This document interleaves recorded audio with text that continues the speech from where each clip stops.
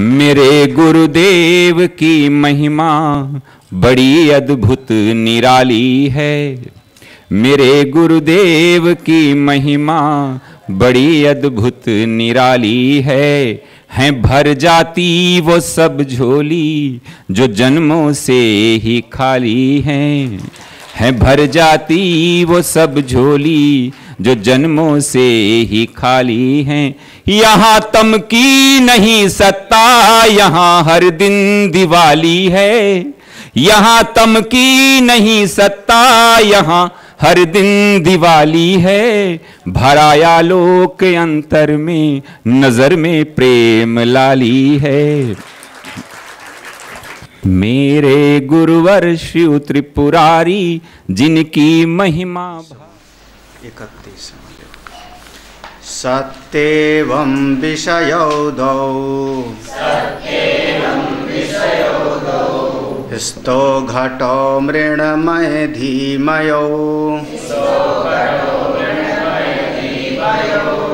मृण्मयो मानमेयः स्यात्। साक्षी भाष्यस्तु धीमयः। अन्वय व्यतिरेकाभ्याम्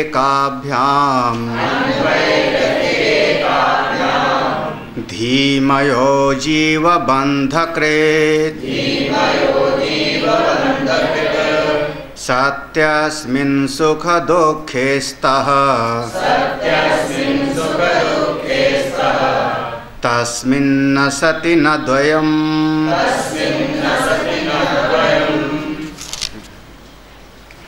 सती एवं। ये है पूरे के सवेरे का जितना हम लोगों ने श्रवण किया, उसका निष्कर्ष है। सती माने होने पर। इस प्रकार से होने पर दो बात हमको समझ में आई। कौन सी? जैसे हमने कहीं पर कोई चीज़ देखी, घड़ा देखा, कोई किताब देखी तो वह घड़ा एक तो है मिट्टी का, पाँच महाभूतों का बना हुआ, कोई न कोई एक आकार देखा, रूप देखा। तो एक तो बाहर हमने कोई चीज़ देखी, विषय देखा, और दूसरे उस चीज़ को देख के हमारे चित्त पर एक संस्कार पड़ता है। और हमारा जो चित्त है, वो जो संस्कार जो पड़ता है, उसको देख के विश्लेषण करता है कि अच्छा है, कि बुरा है, कि सुख वाला है, कि दुख वाला है, कि पाना है, कि त्यागना है। तो दो चीज़ हमको समझ में आई। एक बाहर दिखाई पड़ने वाला जगत, जो पाँच महाभूत का है और एक भीतर वाला हमारा जगत, भीतर की मन की दुनिया, जिस मन के भीतर सब अच्छा बुरा, अपना, पराया, राग, द्वेष, हानि, लाभ, सबका सब भरा पड़ा है। तो जितना कुछ हमारे मन के भीतर है, उसको हम कहते हैं संसार। और जितना बाहर की तरफ़ दिखाई पड़ता है, उसको हम कहते हैं जगत। तो जगत और संसार को एक जैसा न समझो। जगत के लिए हमने कहा था, जिसका जन्म होता है, जो दिखाई पड़ता है, जिसका परिवर्तन होता है, जिसको इंद्रियों से हम पकड़ सकते हैं, उसको हम कहते हैं जगत। और जो हमारे मन के भीतर होता है, उसका जन्म नहीं होता, बल्कि प्रतिबिंबित होता है, भाषित होता है। वो कल्पित तो होता है। तो उसका जन्म नहीं है। जैसे स्वप्न में, सपने में हाथी देखा तो उसका जन्म नहीं है। तो ऐसे मन के भीतर जो चीज़ आती है, उसका जन्म नहीं है, बल्कि वो प्रतीति होता है। तो मन के भीतर जितना कुछ है, उसको हम नाम देते हैं संसार। जब हम कहते हैं कि ज्ञान से संसार मिट जाता है तो मन के संसार का निराकरण है वहाँ पे। अब ऐसा मत समझो कि ज्ञानी कोई हो गया तो उसको पानी पानी नहीं दिखाई पड़ेगा, वृक्ष वृक्ष नहीं दिखाई पड़ेगा। दिखेगा तो जगत ज्यों का त्यों दिखेगा, लेकिन उसके मन का जो संसार है, वो ज्ञान से ही मिट गया।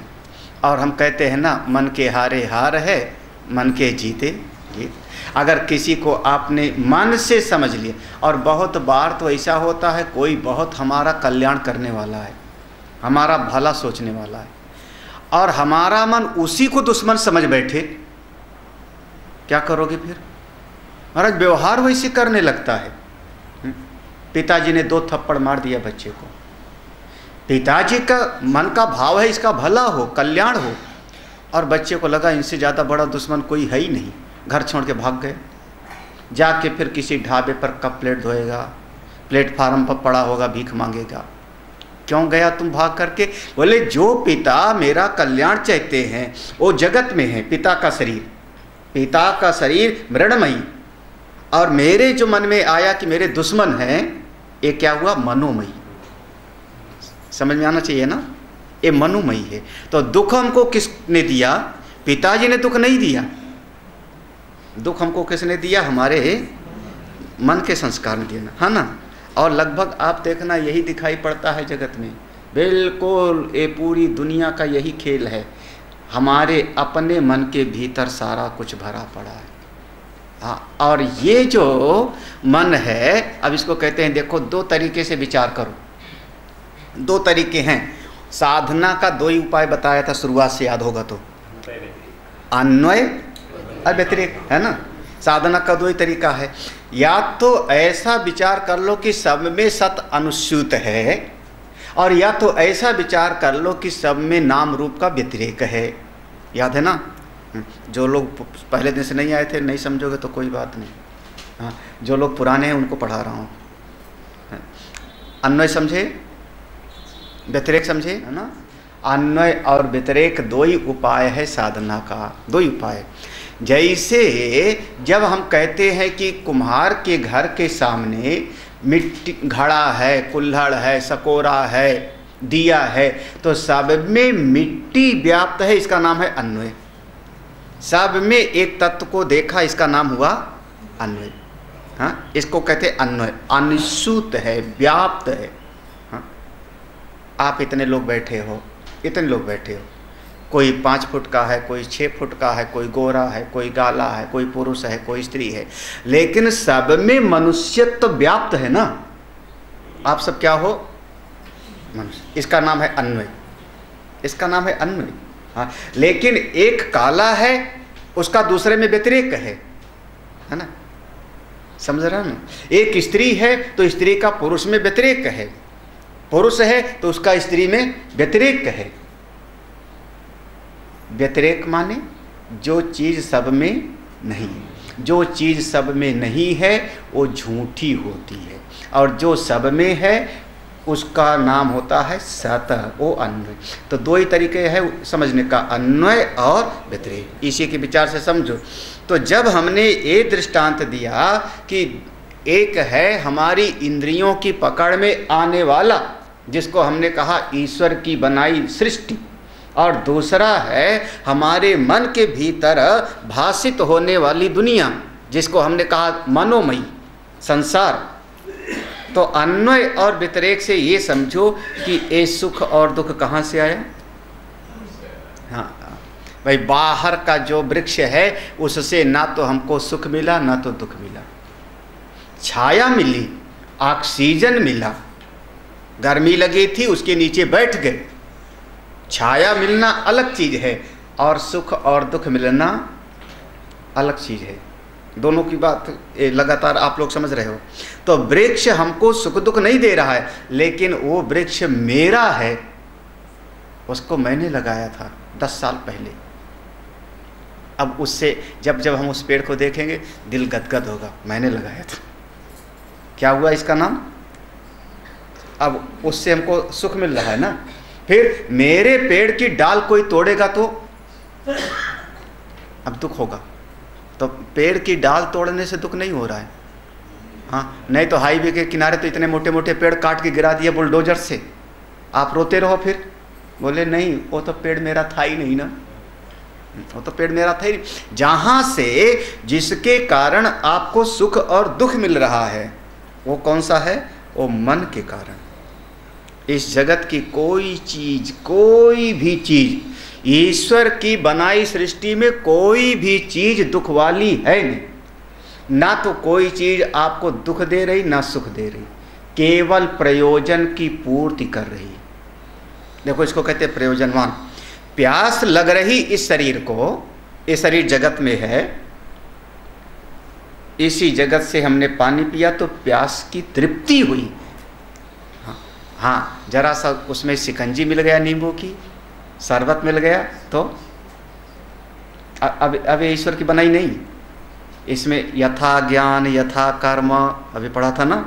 जिसका जैसा ज्ञान था, जिसका जैसा कर्म था, वैसे उसने अन्न को खाने लायक बनाया।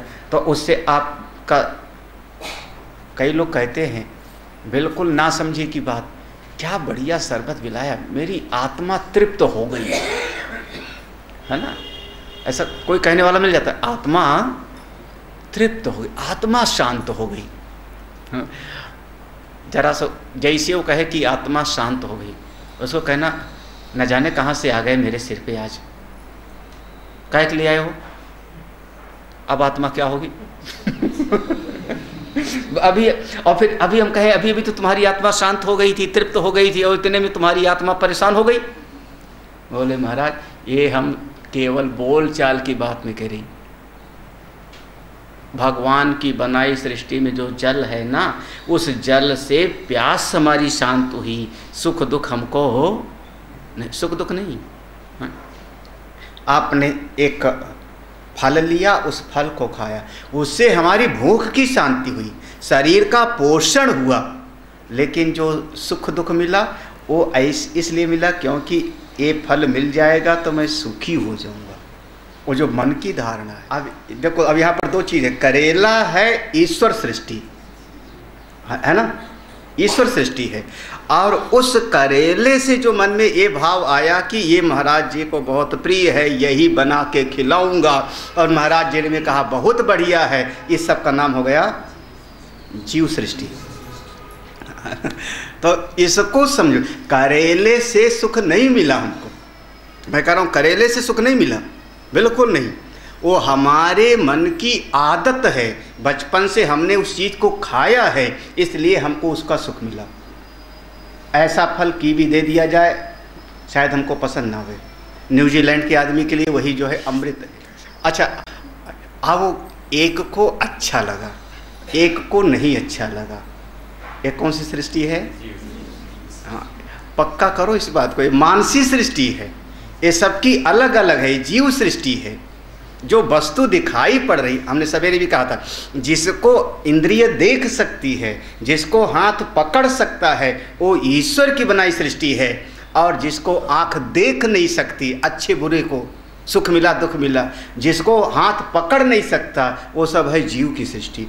तो ये जो सुख और दुख मिला ना, ये जीव सृष्टि से मिला, ना कि ईश्वर सृष्टि से। घर से लड़के आओ और पेड़ के नीचे बैठो, बढ़िया, बिल्कुल, वो बगीचे में बैठ जाओ, गुलाब के। हाँ वो गुलाब के फूल की दिख दिख रहा है, फूल का बगीचा है, बहुत बढ़िया, लेकिन वो ईश्वर सृष्टि है। उसके बीच में बैठ करके अगर सुखी हो रहे हो तो आपके मन की स्थिति है। और उसके बीच में बैठ के दुखी हो रहे हो तो आपके मन की स्थिति है। वास्तव में गुलाब ना आपको सुख दे रहा है और ना ही आपको दुख दे रहा है।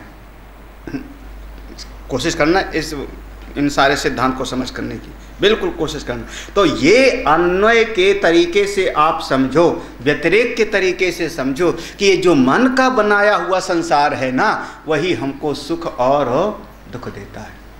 मैं और मेरा पर हाँ मैं और मेरा हाँ, मन के कारण। असल में ये बाहर का जो ईश्वर का, भगवान का बनाया हुआ दुनिया, भगवान ने पाँच महाभूत बनाए। आकाश किसी को सुख दुख नहीं दे, वायु, अग्नि, जल, पृथ्वी किसी को सुख दुख नहीं दे रहा। वृक्ष, पशु, ये जीव किसी को सुख दुख नहीं दे रहे। अगर इनसे सुख दुख हो रहा है, वो हमारे मन के कारण हो रहा है। मन के कारण। इसको कहते हैं अन्वय और अच्छा अन्वय क्या? इस जगत में जब जब मैं दुखी होता हूँ जब जब दुखी हो रहा हूँ, इस संसार में, जब जब मैं दुखी हो रहा हूँ, तब तब अपने मन के कारण। यही बंधन है। आपके दुख का कारण आपके स्वयं का मन है। जीव बंध कृत धीमया आप जब जब आप बंधन में पड़ रहे हो, सुख दुख का अनुभव कर रहे हो, कोई देवता नहीं। आपके मन के कारण, क्योंकि आप परिस्थिति को एक्सेप्ट नहीं कर पा रहे हो। जैसी परिस्थिति है उस परिस्थिति को आप स्वीकार नहीं कर पा रहे तो उस परिस्थिति को आप किसी और को डालने के लिए तैयार हो जाते हो। अमुक के कारण हमको दुख मिला, देवता के कारण दुख मिला, इस ग्रह के कारण दुख मिला वो परिस्थिति के कारण दुख मिला, क्योंकि उस परिस्थिति को ज्यों का त्यों आप स्वीकार नहीं कर पा। तो आप अपने मन को, अपने मन की कमियों को किसी और पर डालते हो। अन्यथा तो कोई परिस्थिति हमको ना सुख दे रही, ना दुख। परिस्थिति है मात्र। परिस्थिति है। हमारा मन चाहता है कि ऐसा होवे। वैसा नहीं हुआ तो हम हो गए दुखी। और वैसा हो गया तो हम हो गए सुखी। हाँ बस इतना है। तो हम दुख, सुख का कारण मेरा मन हो रहा है। ये है अन्य पूरे जीवन में हमने व्यवहार में देखा। जब से जगे, तब से देखा हमने। पूरा का पूरा देखा कि सुख दुख का कारण कोई ना व्यक्ति, ना वस्तु, ना परिस्थिति मेरा मन था। व्यतिरेक काय का? जब ये मन सो गया, जिस समय मन सो गया, उस समय चाहे कोई हमारा मोबाइल चुरा ले जावे। हाँ? मन सो गया तो कोई हमारा कपड़ा पोटली ले जावे। उस समय दुखी होंगे आप। मन सो गया, माने आप सो गए। मन हो गया, यानी आप गहरी नींद में चले गए। गहरी नींद में चले गए तो चाहे कोई हमारी चीज़ ले जावे, चाहे कोई हमारे कोई तोड़ा फोड़ी करे, उस समय हमको पता ही नहीं तो हमको कोई सुख दुख नहीं हो रहा। जैसे जगोगे, मन को याद आया, अरे अरे, मैंने यहाँ चीज़ रखी थी। कहाँ गई? आप दुखी होने लगे। किसके कारण? मन के कारण, मन के कारण। याद रखना तो सुसुप्ति में, गहरी नींद में मन नहीं है तो सुख दुख का व्यतिरेक है। वहाँ न सुख है और न दुख है। तो चूँकि सुख और दुख दोनों हम, हमारे मन के सापेक्ष हो रहे हैं, मन है तो सुख दुख है, मन शांत हो गया, सो गया तो सुख दुख नहीं है, व्यतिरेक है वहाँ पर। इसलिए सुख दुख का मूल हेतु हमारे ये मन का बनाया हुआ संसार। इति सिद्धम पक्का करना चाहिए। अच्छा जब मन सुख दुख का कारण हमारा मन है तो तो दूसरे को दोष क्यों देना? हाँ? फिर वही याद आ गया दोहा। रज्जब वाला, क्या था वो? रज्जब दोष न दीजिए। रज्जब दोष न दीजिए। कोई कहे क्यों ही? हंस के उत्तर दीजिए। हाँ बाबा यूँ ही। हंस के उत्तर दीजिए हाँ बाबा यूँ ही। मुँह फुला के नहीं कहा है। हंस के उत्तर दीजिए हाँ बाबा। अरे महाराज ओ छोटे छोटे महापुरुषों के जो है युक्तियाँ हैं इसी युक्ति से हमको मन को शांति मिल जाती है। तो काहे के लिए आप आने ही नहीं अमुक ग्रह हमारे खिलाफ है। कौन सा? बोले शनि हमारे चक्कर में पढ़ते हो। क्यों पढ़ते हो? वो दुनियादारी लोगों को पढ़ने दो। उनको पढ़ने दो। कम से कम वेदांत का चिंतन करने वाला उसको नहीं। वो ठीक है, अपनी जगह पर जितना है, हमने कर लिया। लेकिन सुख और दुख का कारण हमारा अपना मन है। अगर मन अच्छा होवेगा ना, मन अच्छा होवेगा तो बिल्कुल आप जहाँ जाओगे, सुखी रहोगे। अब मन खराब होगा तो? हाँ? मन खराब होगा तो चाहे जैसे जाओ अब मन ऐसा हो गए तो जहाँ जाओगे, क्या हो गई मन के हारे हार है, मन के जीते। बिल्कुल, ये सारा संसार मनोमयी है।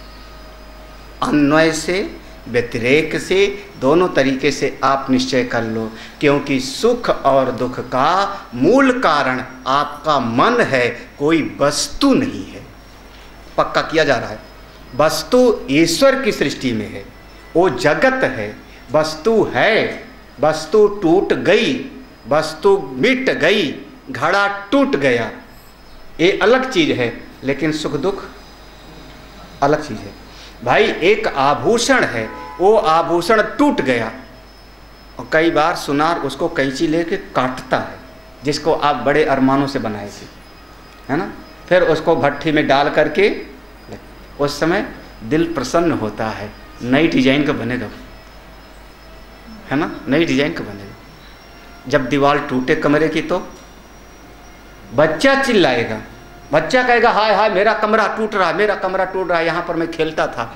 और बड़े आदमी कहेंगे, अब कोई नई डिज़ाइन का बढ़िया बनेगा। है ना?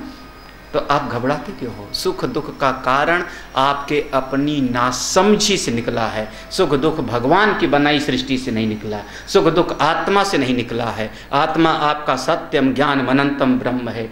भगवान की बनाई सृष्टि आनंदमयी है सच्चिदानंदमयी है। इसलिए सुख दुख केवल आपके अज्ञान से अविद्या से नासमझी से निकला है। और ये नासमझी मिट्टी सुख दुख गए व्यतिरेक है। हाँ, मन हटा गहरी नींद में आपका सुख दुख गया केवल आपका सुख, अन्वय व्यतिरेक से दृढ़ करो। बिल्कुल पक्का करो। इसलिए करे, अन्वय व्यतिरेक का अभ्याम धीमयो जीव बंध, ये जीव का बंधन केवल बुद्धिगत है। केवल बुद्धिगत। धीमया, बुद्धि के कारण ही मन एवं मनुष्याणाम कारणम बंध मोक्ष हाँ। फिर भगवान शंकर जी ने कहा, हे पार्वती, सुनो, मैं दो लाइन में बताता हूँ, बंधन और मुक्ति क्या है। ज़्यादा बड़ा पसारा नहीं, दो लाइन में। द्वय पदे बंध मोक्ष हाँ? दो लाइन में मैं बताता हूँ।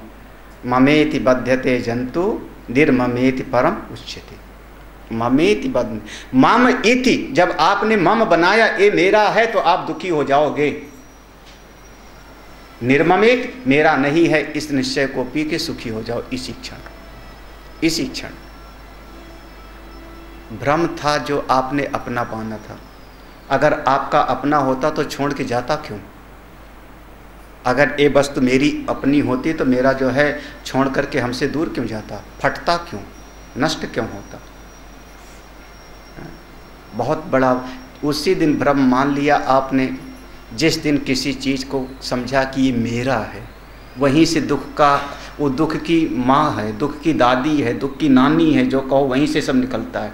कहाँ से? जिस क्षण आपने समझा कि ये चीज़ है मेरी, समझा किसने? मन ने, है ना? मन ने माना। अब बस मान मान कर बंधन में आयो।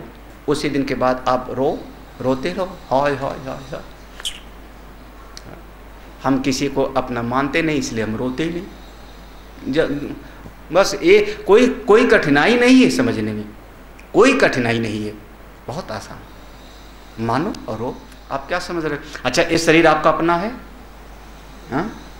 शास्त्र में लिखा है कि शरीर के तीन असली ग्राहक इंतज़ार कर रहे हैं। शरीर को तीन लोग अपनी मानते हैं और पक्के इंतज़ार कर रहे हैं। चाहे जितना बढ़िया बढ़िया खिला के मोटा तगड़ा बनाओ। कौन? सबसे पहले तो शरीर को अपनी बनाने के लिए हमारे अग्नि देवता तैयार हैं। वो कह रहे हैं, बहुत बढ़िया। आज नहीं तो कल मेरे पास आवेगा और मेरा भोजन होवेगा। कब? जब चिता पे चढ़ोगे तब। यही तो ना? अरे नहीं नहीं, मैं तो महात्मा बनूँगा, लाल कपड़ा पहनूँगा तो मैं तो मैं तो हमको नहीं जलाया जाएगा घबराते क्यों हो? दस नंबर पर बड़े बड़े कछुए हैं। मछलियाँ हैं। हाँ हरिद्वार का दस नंबर कछुए हैं। अब तो पानी वगैरह कम हो गया। लेकिन कम हो गया। महात्माओं को जल में प्रवाहित कर दिया जाता है। तो जल में जो कौ कछुए हैं जो और जीव हैं वो इंतज़ार करते हैं आवेगा बढ़िया माल है ये महात्मा बहुत हलवा पूड़ी खाया है। है ना? कि कौन ग्राहक हो गया आपका? वो कह रहा है मेरा है। और नहीं तो पृथ्वी माँ कहती हैं, किसी ना किसी दिन हम में तो ये है। आप, आपका ये शरीर किसका है? अभी सवेरे भी सुना था, बेटे ने कहा, मेरा, मेरे पिताजी हैं। भाई ने कहा, मेरा भाई है। पत्नी ने कहा, मेरा पति है। कितने लोगों ने इस शरीर को मेरा मेरा मेरा कहा। और सब अपने हिसाब से चलाना चाहते हैं आपको। हमको तो वो दृष्टांत याद आ जाता है। बिल्कुल वही दृष्टांत है। कि एक टीवी रखा हो घर में।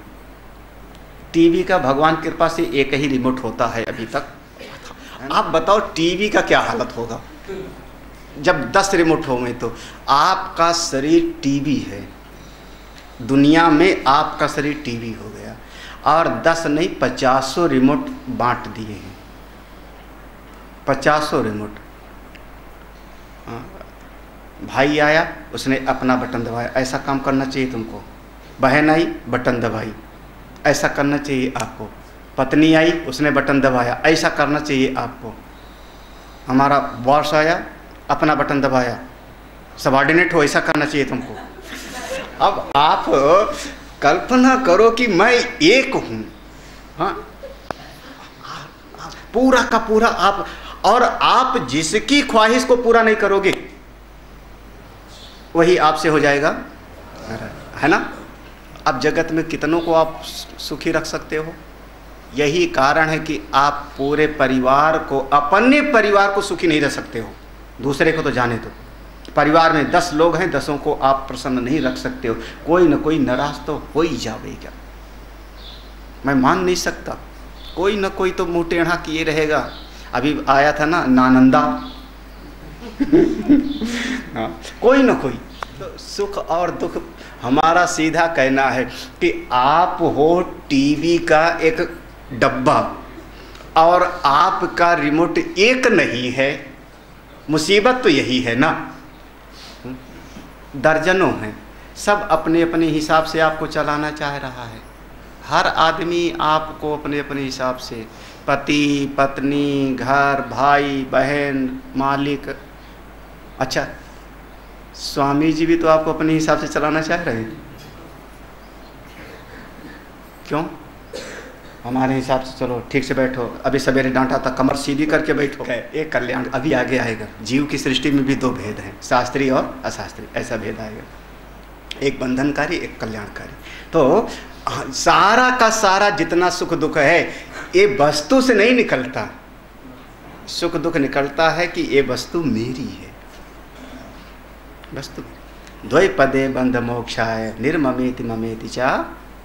ममेति बध्यते जंतु निर्ममेति परम उच्यते याद रखना चाहिए। द्वैपदे बंध मोक्षाय बंधन से मुक्ति के लिए दो लाइन में हम बता रहे द्वैपदे बंध मोक्षाय निर्ममेति ममेति च। ममेति बध्यते जंतो निर्ममेति परम उच्यते दो लाइन में, मेरा है इसी से आप हो गए बंद। अच्छा मेरा बनाया। अच्छा मेरे को दिखाओ ना। ईश्वर सृष्टि को मैंने सवेरे कहा था, आँख से देख सकते हैं, हाथ से पकड़ सकते हैं। आप दिखाओ मेरेपन को। दिखा नहीं सकते वो है कहाँ पर? मनोमयी। वहीं से बंधन निकला। मनोमयी सृष्टि को किनारे करो। आप मुक्त हो। एक क्षण में सुखी हो। एक क्षण में सुखी हो। देरी कहाँ? कोई देरी नहीं। सबका सब दुख आपके अपने नासमझी के कारण है। आपके, जब भी आपको रोना आवे, एक बात मैं पक्का कह रहा हूँ, चाहे आज समझो, चाहे दस साल के बाद, चाहे दस जन्म के बाद, जब भी आप दुखी हो, आप तुरंत समझो ये हमारा दुख हमारे अपने ही भीतर की अविद्या से निकला है। इसकी जननी हमारे अपने भीतर का नासमझी है, अज्ञान है। क्योंकि ईश्वर की सृष्टि हमको दुख नहीं देती। ईश्वर की सृष्टि सुख भी नहीं देती। दोनों बातें। ये मनोमयी है। अगला श्लोक पढ़ो जी हो गया। अब इस इतने में अब तो पक्का हो गया ना? हाँ? पढ़िए जी। असत्य पिच बाह्यार्थे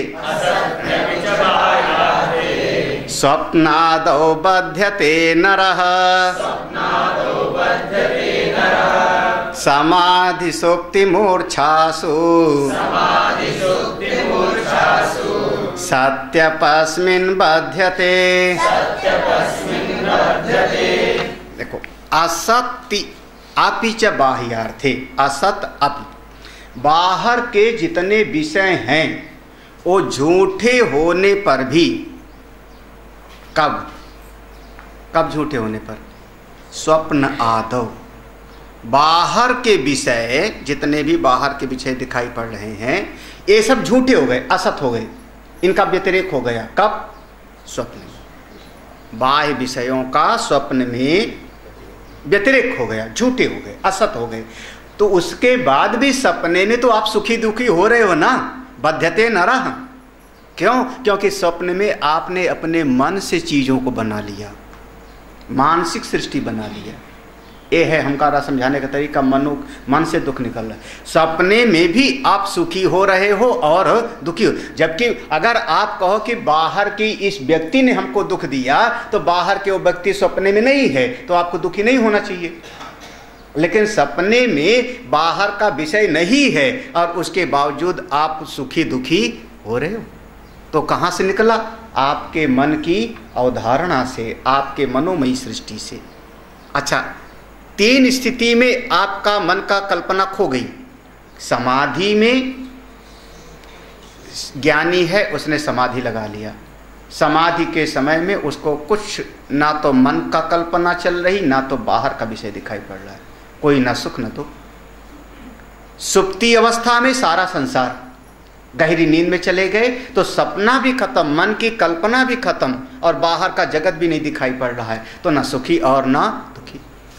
कोमा में, मूर्छित अवस्था में, मूर्छित किसी बाई एक्सीडेंट ऐसी अवस्था में चला गया। तो सत्यपि साथी अपि, ये तीनों अवस्थाओं में को बाहर का विषय बना रहे, पेड़ बना रहे, गाय बकरी बनी रहे। आप मूर्छा में है, कोई फ़र्क नहीं पड़ता। आप समाधि में है, कोई फ़र्क नहीं पड़ता। अगर गहरी नींद में है और शेर आ जाए तो भागोगे उस समय? पहले जगना पड़ेगा। पहले समझना पड़ेगा कि सामने शेर है, तब मन कहेगा, भागो या चिल्लाओ। गहरी नींद में हो तो चाहे शेर आवे, चाहे सांप आवे, चाहे कोई दुख सुख नहीं होता। तो उस समय मन नहीं है, मनोराज्य नहीं है तो सुख दुख भी नहीं। तो सुख दुख निकल कहाँ से रहा? व्यक्ति से नहीं। बाहर की सृष्टि से नहीं, सुख दुख निकल रहा है, हमारी ही मन की सृष्टि से। अब देखो, एक दृष्टांत बहुत बढ़िया ले रहे हैं। इस दृष्टांत को हमने कई बार प्रवचन में सुनाया होगा। इस दृष्टांत को शायद प्रवचन में इसी के आधार पर कई बार हमने बताया होगा। दूरदेशं गते पुत्रे। दूरदेशं गते पुत्रे। जीवते वात्र तत्पिता। विप्रलम्भकवाक्येन। मृतं मत्वा प्ररोदिति। मृतं तस्मिन् वार्तायाम्। अश्रुतायां न रोदति। अतः सर्वस्य जीवस्य बन्धकृत्मानसं जगत् दूर देशम गते पुत्र। हमारा पुत्र दूर देश में चला गया, बंबई, कलकत्ता कहीं दूर देश हमारा पुत्र चला गया। वहाँ जाके कमा रहा है, हो सकता है नौकरी कर रहा है, व्यापार कर रहा है, कमाई कर रहा है, जीवित है, खा पी रहा है, बढ़िया मौज कर रहा है। कोई आकर के हमको कुछ उल्टी सीधी बात बता देवे। तुम्हारा बेटा तो मर गया। तो रोगे कि नहीं? हमारे गाँव की तरफ़ एक तरीका था। कोई बच्चे के सिर पे कौआ बैठ जावे। कौआ बैठ गया कौआ बैठ के उड़ गया। सारा जो है घर के लोग परेशान कौआ बैठ गया बड़ा अपशकुन हो गया बड़ा अशुभ हो गया पता नहीं क्या होगा। तो उस बच्चे के नानी नाना को मौसी मासा के किसी को रिश्तेदार को जिससे अपनापन है उसको सूचना भिजवाई जाती है कि वो बच्चा मर गया। झूठ है। हाँ, और जो सूचना लेके जाता है वो सब सदे बदे होते हैं।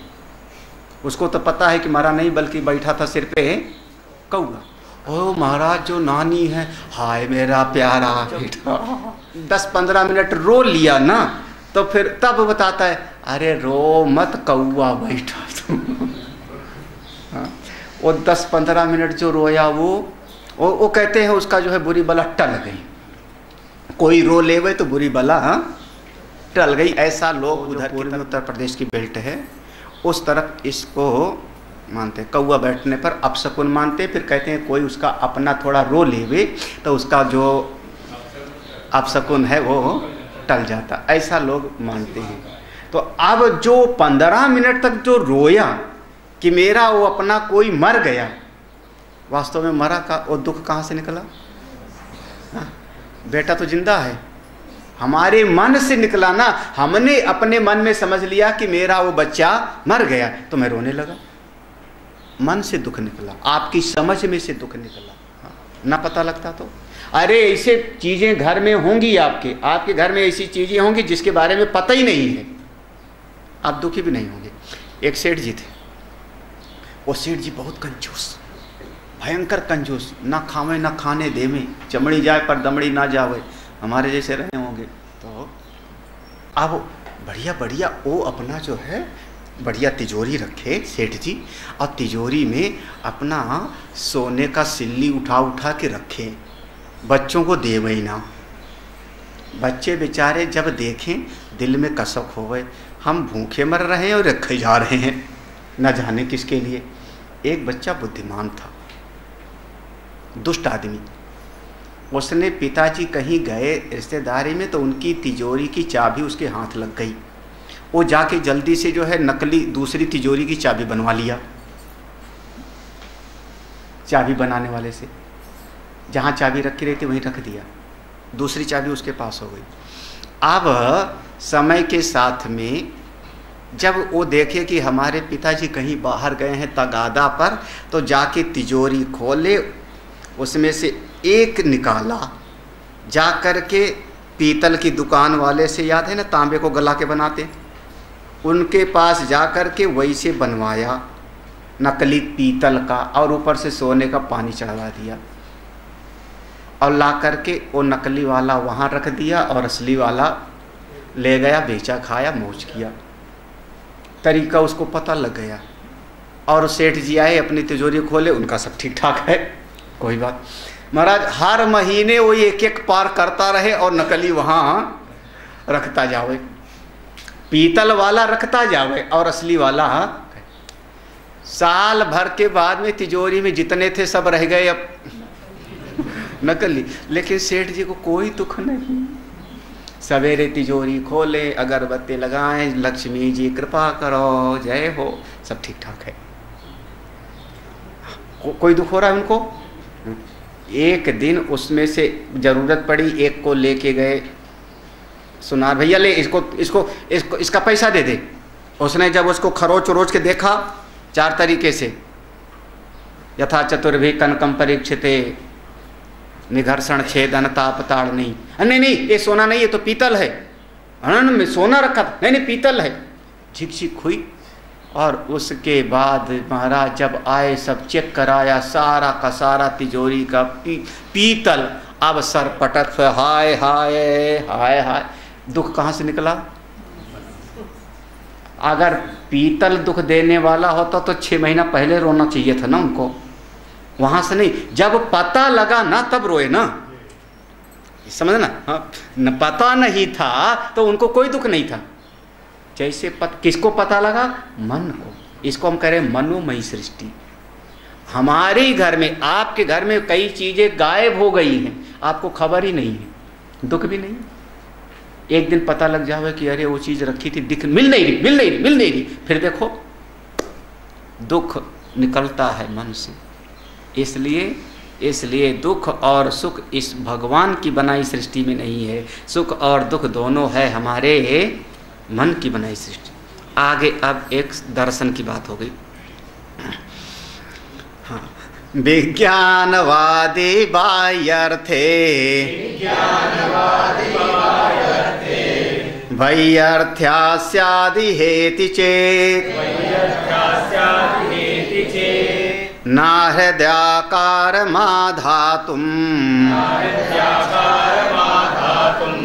बाह्यस्यापेक्षितत्वतः वैयार्थमस्तु वा बाह्यम् नावारायितुं विस्महे प्रयोजनमपेक्षन्ते न मानानीतिः स्थितिः। विज्ञानवादी विज्ञानवादी ए बौद्धों का एक शाखा है, नाम है योगाचार क्षणिक विज्ञानवाद। उनका दर्शन है क्षणिक विज्ञानवाद। वस्तु बाहर नहीं है, बल्कि हमारे मन के भीतर ही होती है, यथा दृष्टि तथा दृष्टि। मन की, मन के भाव का प्रक्षेपण मात्र ही बाहर का जगत है। इसको कहते हैं बाह्यार्थ। बाह्यार्थ माने जो बाहर अर्थ दिखाई पड़ रहा है, जहाँ दिखाई पड़ रहा है, वहाँ नहीं है, बल्कि है हमारे मन के भीतर। तो ऐसे लोग कहते हैं व्यर्थ से अगर आप ये कहोगे सब मनोमयी है तो बाहर के जगत की व्यर्थता हो जाएगी ना हृदय आकारम आधा तुम अगर ये कहोगे कि सब का सब हृदय में जो एक तदाकार वृत्ति होती है उसके कारण ही है। सारा का सारा जगत दिखाई पड़ता है तो ये सारा का सारा ईश्वर की बनाई सृष्टि आपकी झूठी हो जाएगी। सब का सब ए, ए असत हो जाएगा। उसको कहते हैं वही अर्थम अस्तु बाह्यम ये दर्शन का विषय है तो इसको ज़्यादा मैं समझो। कह रहे हैं कि कोई बात नहीं, इसमें हमको कोई ऐसी बात नहीं। अगर ये सारा का सारा जगत प्रतिभाषित भी हो सकता है वही अर्थम अस्तु बाहर की चीज़ जितनी भी है, वो व्यर्थ हो जावे, कोई बात नहीं, हमको इससे कोई लेना देना नहीं। क्योंकि वो सब का सब हमारे बस में नहीं है। पेड़ को मिटाना हमारे बस में नहीं है, आकाश को मिटाना हमारे बस में नहीं है, वायु को मिटाना ना वारई तुम इसमें इसमें ईश्वर की बनाई सृष्टि को मिटाना हमारे बस में नहीं। और प्रयोजनम अपेक्षण थे प्रयोजनम अपेक्षण थे ना। जब सत्य का चिंतन किया जाता है तो प्रयोजन नहीं देखा जाता। सत्य का बोध जब करना होता है तो प्रयोजन नहीं, प्रयोजन सिद्ध होता है कि नहीं, उसकी बात नहीं। सत्य के खोज में प्रमाण और प्रमेय की मीमांसा की जाती है। नेत्र जब देखेगा तो वस्तु के रूप रंग को देखेगा। आपका प्रयोजन सिद्ध होता है कि नहीं सिद्ध होता, ये हमारी बात नहीं है। आँख देखेगा तो रूप रंग को देखेगा। कान सुनेगा तो शब्द। नाक अगर शक्ति है, प्रमाण है नाक, शक्ति है तो इसको बाहर से गंध आएगी। अब आपको दुर्गंध आती है तो हमको क्या करना? प्रयोजन आपका सुगंध लेना है, आई नाक से, दुर्गंध। हम आपकी इसकी बात नहीं कह रहे हैं। प्रमाण अगर नाक ठीक ठाक है तो आपको गंध आवे। तो जब प्रमाण और प्रमेय की चर्चा होती है तो प्रयोजन किनारे हो जाता है। उस समय प्रयोजन की बात नहीं होती। इसलिए जो है, आप बाहर के जगत के प्रयोजन की चर्चा मत करो। बाहर का जगत है कि नहीं है है तो कैसे है? मन के कारण सीधा हमारा कहना है कि बाहर का बना हुआ संसार, दुनिया, ये भगवान ने बनाया और मन में जो बना, वो हो हमने बनाया। हमारा सीधा सा। बाहर की बनाई हुई सृष्टि ईश्वर की और हमारे मन की बनाई हुई जीव की। बाहर की बनाई हुई सृष्टि हमको ना सुख देती है और ना दुख देती है। सुख और दुख बंधन हमको देती है हमारे मन की बनाई हुई सृष्टि। हमारे मन की समझ से हमको सुख और दुख मिलता है। अगले उसने पूछा फिर तो मन को शांत कर लो। हम्म, जैसे योग दर्शन में कहा चित्त वृत्ति को शांत कर लो मन को शांत कर लो दुख मिट जाएगा। तो मन को शांत कर लेते हैं दुख खत्म। तो थोड़ा सा अब दर्शन के विषय हैं तो हम लोग इसको सभी